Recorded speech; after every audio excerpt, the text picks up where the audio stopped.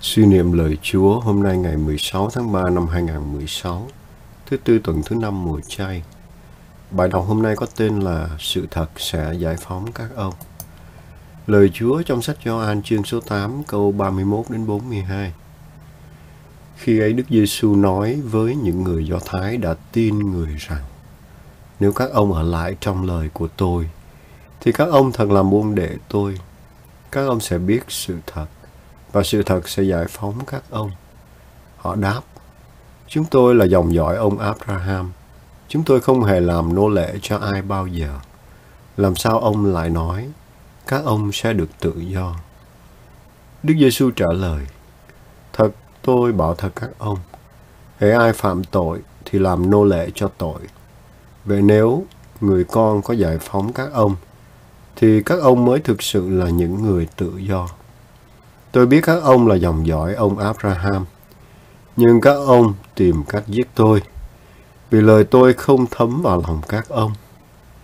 Phần tôi, tôi nói những điều đã thấy nơi cha tôi. Còn các ông, các ông làm những gì đã nghe cha các ông nói. Họ đáp, cha chúng tôi là ông Abraham. Đức Giêsu nói, giả như các ông là con cái ông Abraham, hẳn các ông phải làm những việc ông Abraham đã làm.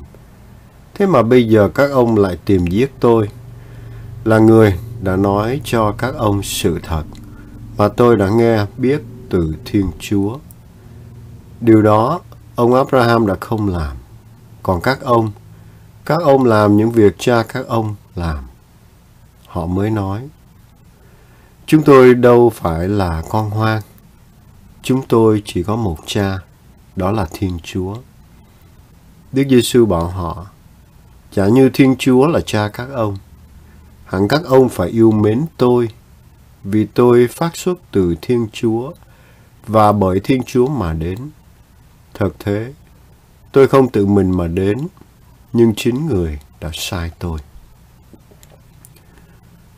Lời suy niệm Những dân tộc bị đô hộ nhiều năm mới hiểu được giá trị của giải phóng.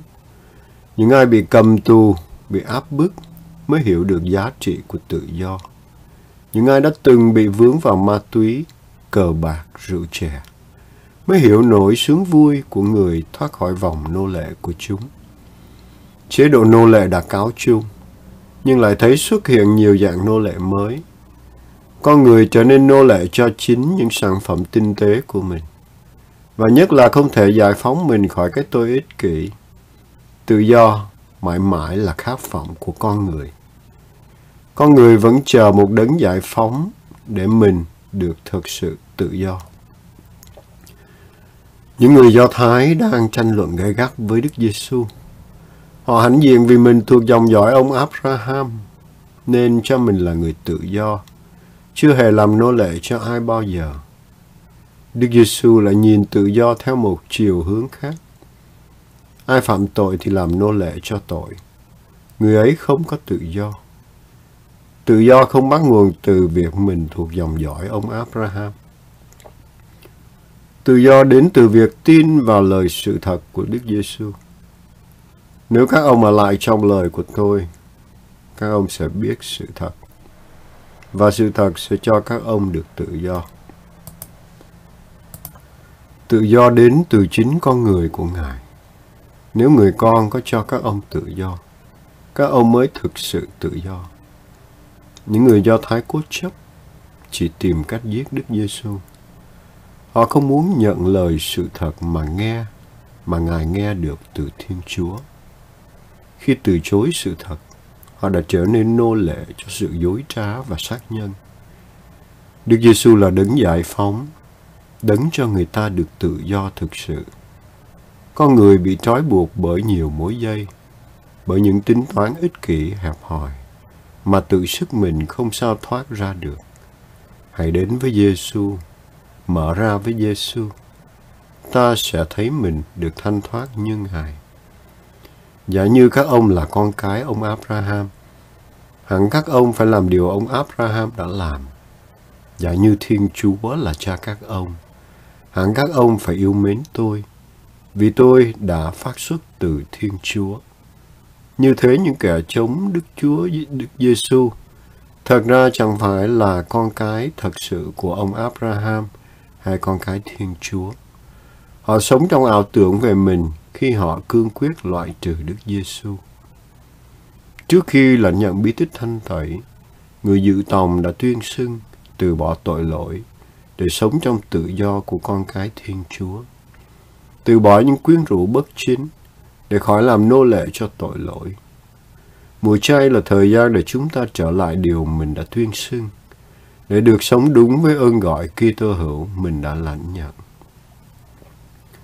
Lời cầu nguyện lời Chúa Giêsu giàu sang danh vọng khoái lạc là những điều hấp dẫn chúng con. Chúng trói buộc chúng con và không cho chúng con tự do ngước lên cao để sống cho những giá trị tốt đẹp hơn.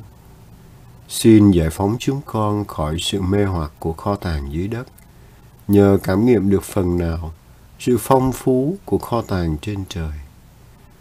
Ước gì chúng con mau mắn và vui tươi bán tất cả những gì chúng con có để mua được viên ngọc quý là nước trời. Và ước gì chúng con không bao giờ quay lưng trước những lời mời gọi của Chúa.